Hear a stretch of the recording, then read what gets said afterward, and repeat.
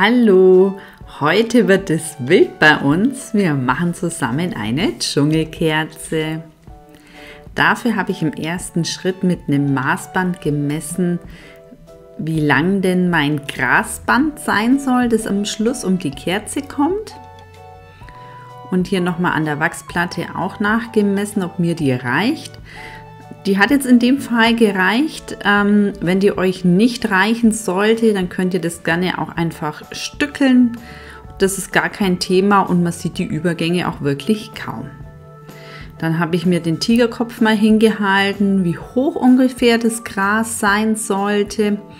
Und dann einfach ganz grob angefangen, einfach mit dem mit einer Nadel das Gras auszuschneiden. Also ihr könnt dafür eine dünne Nadel verwenden oder ein Cuttermesser, je nachdem, was ihr da habt.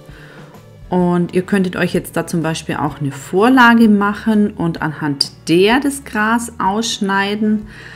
Ich bin eher der Typ, ich mache das immer recht spontan. Ich überlege mir schon grob, wie soll denn die Kerze aussehen.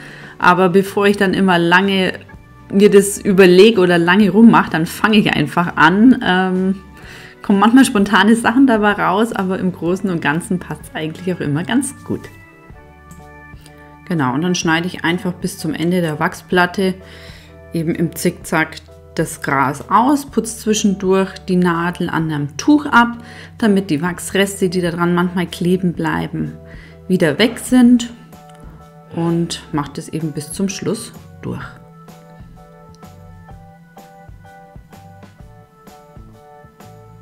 Genau, und dann habe ich das jetzt erstmal nochmal auf die Seite gelegt, quasi das Gras.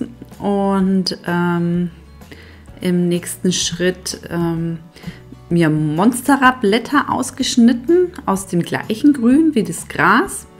Da hatte ich mir vorher so eine Vorlage gezeichnet und die ausgeschnitten auf einem dickeren Papier. Das ist jetzt ein Tonpapier und legt jetzt eben auf die grüne Wachsplatte und kann die dann einfach gut ausschneiden. Also da könntet ihr dann wirklich das ausschneiden, was ihr dafür braucht, was ihr zum Beispiel für ein Motto habt, wenn ihr jetzt irgendwas anderes macht oder eben ihr andere Pflanzen nehmen wollt, andere Pflanzenblätter, macht euch eine Vorlage aus Tonpapier und dann könnt ihr da einfach wunderbar entlang schneiden. Die Kerze jetzt, diese Dschungelkerze, die habe ich für meinen Sohn gemacht. Der hatte jetzt seinen achten Geburtstag und hat sich einen Dschungelgeburtstag für zu Hause gewünscht. Leider kann man ja momentan nicht mit anderen Kindern zusammen feiern und daher wollte ich ihm eben ganz, einen ganz schönen Geburtstag zu Hause machen und äh, diese Wachsmotive, die passen eben perfekt zu dem Motto. Für die Kerze habe ich dann auch unsere Wachsverzierung, das Faultier hergenommen. Das wollte ich jetzt an einen Baum hinhängen, nachdem ja an der Verzierung schon so ein Ast dran ist.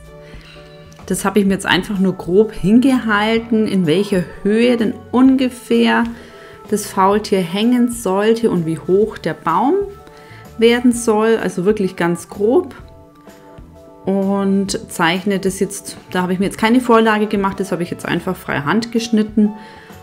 Könntet ihr natürlich auch eine Vorlage machen, wenn ihr euch da unsicher seid.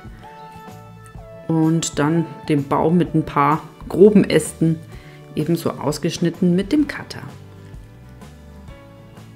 Ob jetzt Faultiere wirklich im Dschungel leben, das weiß ich jetzt ehrlich gesagt nicht. Also ähm, wissenschaftlich belegt äh, sind jetzt meine Kerzen immer nicht.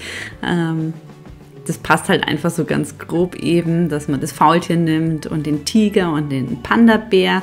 Ähm, ich glaube, das ist Kindern auch grundsätzlich ganz egal.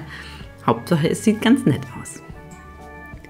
Dann nehme ich den Baum von der Wachsplatte runter und mein Tipp ist eben immer, wenn ihr eben aus einfarbigen Wachssachen was ausschneidet, dass ihr das einmal umdreht und dann quasi mit der Rückseite auf die Kerze klebt, weil die Seite dann einfach fusselfrei ist und meistens unbeschädigt und eben ganz sauber aussieht.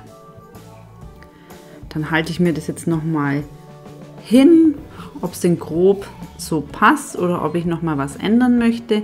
Und das ist auch eben ganz praktisch. Ihr könnt es, bevor ihr das an die Kerze anbringt, erstmal hinhalten.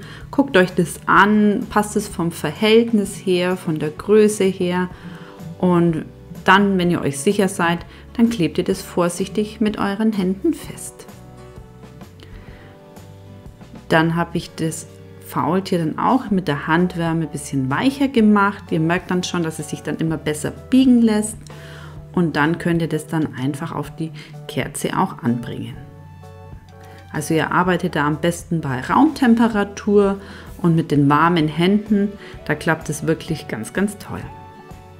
Und ihr braucht keinen zusätzlichen Kleber oder irgendwas, sondern das klebt dann ganz voll alleine auf der Kerze.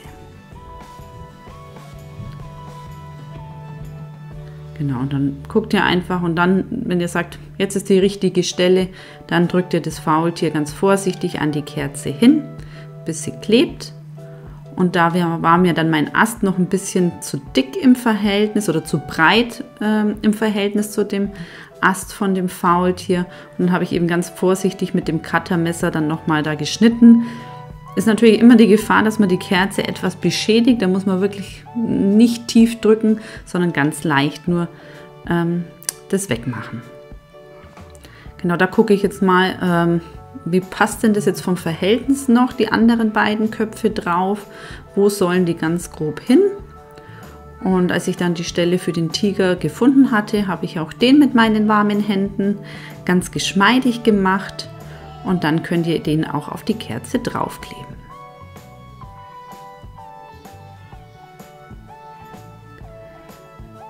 Für den Panda-Bär hatte ich mir überlegt, dass es vielleicht ganz nett wäre, wenn da so ein Monstera-Blatt im Hintergrund wäre.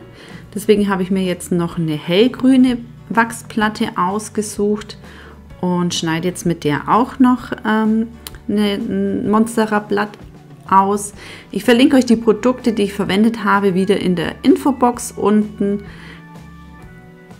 Ich glaube, das ist immer am einfachsten, dass ihr seht, was ihr dafür braucht und welche Produkte ich dafür verwendet habe.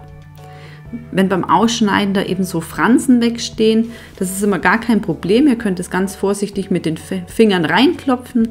Das Wachs ist ja sehr dünn und sehr weich. Da kann man das ganz wunderbar korrigieren. Und auch da halte ich mir das erstmal hin. Wo soll denn ungefähr das Blatt sein? Bleibt es bei dem einen Blatt? Oder ähm, ich habe mir dann nochmal ein kleines Monsterer Blatt nochmal genommen. Ich hatte das mit dem dunkelgrünen Wachs ja nochmal ausgeschnitten. Und dann, wenn ich mir das hingelegt habe und mir sagt, das so gefällt es mir, erst dann drücke ich es dann auch wirklich fest.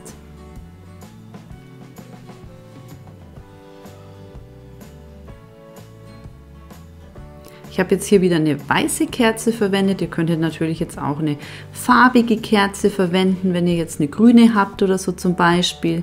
Ich mag es immer ganz gern eher schlichter, deswegen verwende ich auch gern immer einfach die weißen Kerzen, weil ich finde, dann kommt es auch immer richtig gut zur Wirkung. Aber auch farbige Kerzen sehen da oft ganz, ganz toll aus. Jetzt nehme ich mein Grasband, das habe ich jetzt ganz vorsichtig rausgelöst und habe jetzt geguckt, wo habe ich denn eine Graslücke, dass der Tiger da ein bisschen durchgucken kann. Und wenn ich dann, ähm, wo ich dann die Lücke gefunden habe, da habe ich es dann vorsichtig draufgeklebt.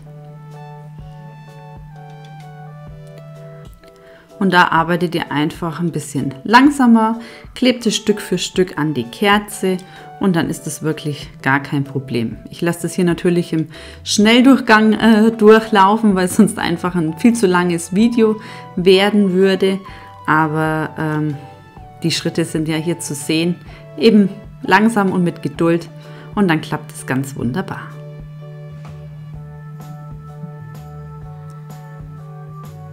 Genau, da ist dann eben der Übergang, wo das Band quasi wieder zusammenkommt und ihr seht, da sieht man kaum was. Also das ist natürlich, wenn man es weiß, sieht man schon, dass da ein Strich ist, aber das macht überhaupt gar nichts. Die Wachsplatte ist eben ganz, ganz dünn und dann fällt es wirklich kaum auf.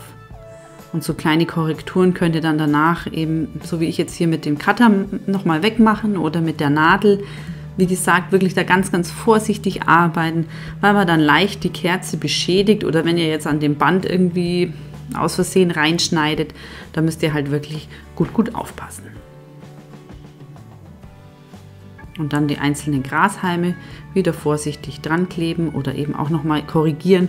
Das geht wirklich, solange ihr das nicht ganz fest hingedrückt habt, klappt das ganz wunderbar. Nachdem die Kerze jetzt von allen Seiten was drauf hat, habe ich jetzt auf mein Handtuch äh, so ein Butterbrotpapier draufgelegt, damit die Kerze keine Fussel bekommt und nicht so an dem Tuch klebt. Und da hat ja der Baumstamm unten rausgeguckt. Das habe ich jetzt auch direkt auf der Kerze einfach vorsichtig abgeschnitten. Der Baum war mir so noch ein bisschen zu nackig. Da habe ich jetzt aus der hellgrünen und dann auch aus der dunkelgrünen Wachsplatte ganz frei Hand ein paar Blätter ausgeschnitten und die klebe ich dann auf den Baum noch. So sieht dann die fertige Kerze aus. Ich zeige es euch jetzt eben einmal noch im Video so gedreht, damit ihr die Kerze wirklich von allen Seiten einmal sehen könnt sieht man ja dann doch immer besser als wie auf den Fotos. Ich hoffe, die Kerze gefällt euch und ihr macht vielleicht auch mal eine Dschungelkerze. Ich würde mich sehr freuen. Wenn ihr Fragen, Anregungen oder Hilfe braucht, dann schreibt uns gerne in die Kommentare. Wir helfen euch weiter. Bis zum nächsten Mal.